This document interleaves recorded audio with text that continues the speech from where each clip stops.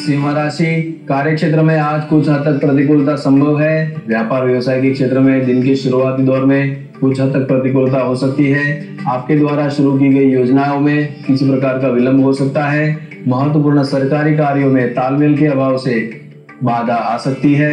Share बाज़ार में निवेश के लिए दिन ज़्यादा अनुकूल नहीं है। जहाँ तक संभव हो, अगर संभव हो तो आज किसी भी प्रकार का आर्थिक जोखिम ना उठाएँ।